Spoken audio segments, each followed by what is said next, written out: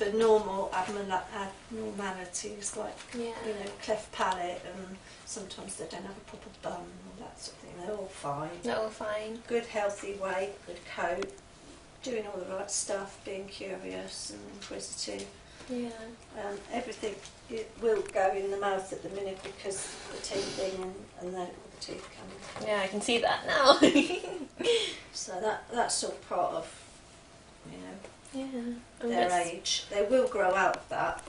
It's just Yeah, it's for the first six nine months because they tend to their teeth come in and then once their teeth come in it eases off for a few months Yeah. and then about the age of nine months they'll start with their second set of teeth so it will start again.